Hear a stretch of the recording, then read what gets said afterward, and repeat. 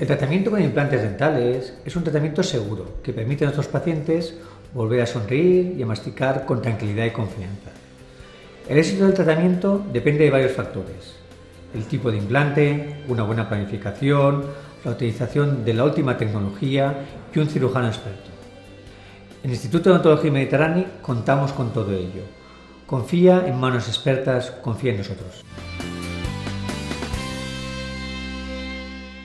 El Centre Cultural Andaluz ha celebrat un any més el Dia de la Verge del Rosario. Hombre, para el Centro Cultural es un día muy importante porque es el Día de la Virgen y nosotros estamos en el Centro Cultural por ella y para ella. O sea, trabajamos para ella.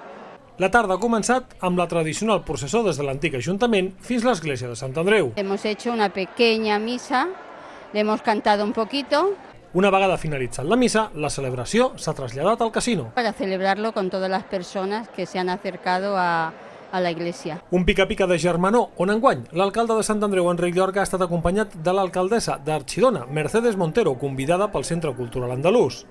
Amb dos han rebut la medalla del centre com a obsequi.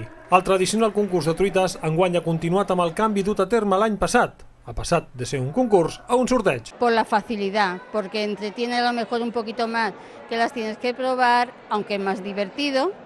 Pienso que es más divertido, pero bueno, entre que tienes que probar, no tienes que probar, a veces la gente también se impacienta.